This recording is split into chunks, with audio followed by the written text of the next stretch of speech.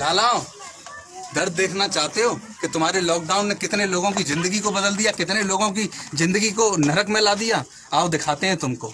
आगरा ज़िले में एक गाँव पंचायत पड़ती है नैनाना जाट और उसमें एक छोटा सा गाँव है नगला विधि चंद वहाँ पर भी एक परिवार के लॉकडाउन जब से लगा तो मैया बाप को काम दोनों उनको छूट को बेलदारी करते थे।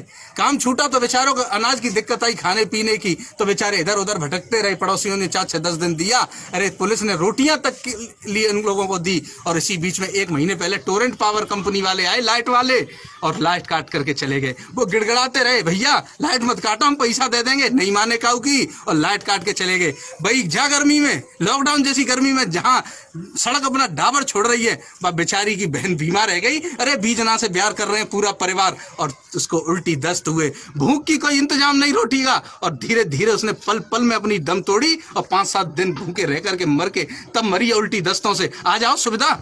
लेटिन बांट रहे थे तुम तो। शौचालय, आ जाओ। कहाँ है? यहाँ तो कोई शौचालय नहीं है इसका। नहीं है। आ जाओ, चलो, देखते हैं, आ जाओ। गैस पहुँच गई होगी तुम्हारी उज्ज्वला योजना की। आ जाओ आ जाओ।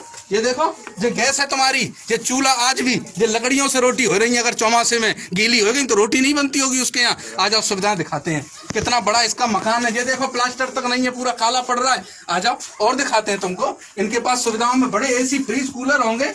आ जाओ, ये देखिए। ये सुविधाओं के नाम पे दो वाट का बल्ब है इनके पास। में केवल दो वाट का बल्ब दे रहा। अरे, सौ वाट का लगाते थे, हम लोग तब भी, हम लोग खुश रहते थे। तो हमने दो वाट का बल्ब कर दिया, तब भी इसके घर में कुछ नहीं है। जब बेटी मर गई, तब आए हैं प्रशासन और शासन के लोग, और क्या दे रहे हैं पता है? पचास किलो आटा, चालीस किलो दाल, इससे ज़िंदगी काट लें तुम्हारे, और पाँच सौ रुपया का सहयोग दे दे, किसके पीपे? सब कनस्तर खाली पड़े हुए हैं इसके। तुम्हें शर्म आनी चाहिए, तुम्हारी सरकारें ज़्यादा दिन नहीं चलेंगी अगर ऐसा करोगे। लॉकडाउन अवधि का बिल नहीं दे पाएँगे। इस परिवार की मदद करो। और खत्म हो गई थी खाने के लिए कुछ भी नहीं है लॉकडाउन भैया खत्म हो हमारे भाई और बहन खत्म हो गई है। पापा पापा ने सांस की बीमारी मम्मी छह महीना भी एकदम बेलदारी पे जाती है। हमारे घर में कुछ भी नहीं है खाने के लिए। राशन कार्ड भी नहीं है कुछ भी नहीं है हमारे घर में। माँ मांग के खा लेते हैं कभी कभी नहीं भूखे सो जाते हैं। लाली कैसे मरी आपकी बहन? ऐसे भूखी प्यासी मर गई पैसे भी नहीं है कुछ भी नहीं है। भैया तुम्हारा कब खत्म हुआ था? लॉकडाउन में खत्म हो गया था। लोट लोटबंदी में खत्म हो गया था हमारा भाई।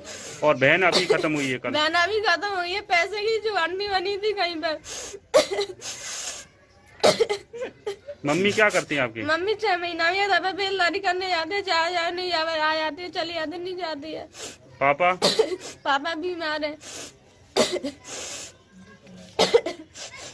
आ जाओ इनकी हालत देख लो इनके कपड़े कैसे फटे हुए इनकी क्यों माफ़ नहीं होनी चाहिए? तुम्हारे कहने से रहे घरों में अंदर और बिल तो नहीं देंगे चाहे तुम कोई सी स्थिति पे आ जाओ जो इसका भाई है।